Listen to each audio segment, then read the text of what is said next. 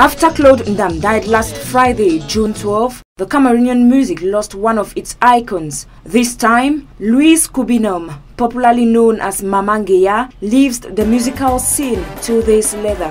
Hairdresser in the early hours of her professional life, Nguea Laroute began her musical career alongside her kid brother, Din Din Ferdinand, alias Papillon. They co-produced Fou Malade, Mama Nguea's first album in 1992 under the artistic direction of Jeannot Ebele.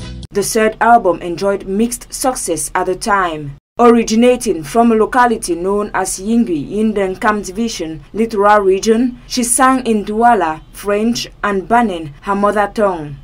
Thanks to her talent, she produced six albums in three decades and was able to convince her peers, but also her many fans who never stopped following her.